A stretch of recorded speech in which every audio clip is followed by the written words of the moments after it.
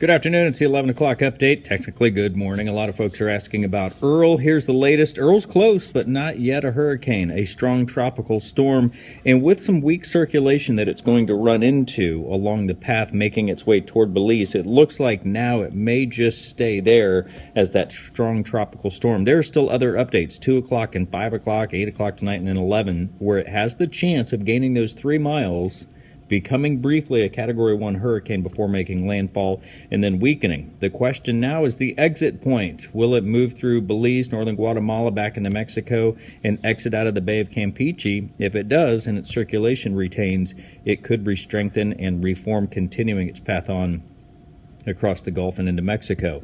Scattered showers, afternoon thunderstorms still in the mix, about a 60% chance here locally. And the beaches, I know you haven't seen much rain. You're down to about a 40 to a 50 50 shot here for today. 94 degrees, daytime high. We'll continue to watch the chance for showers moving up. The best chance does come in late afternoon, early evening, and then again tonight in southeast Georgia evening forecast calling for showers and storms before they dissipate.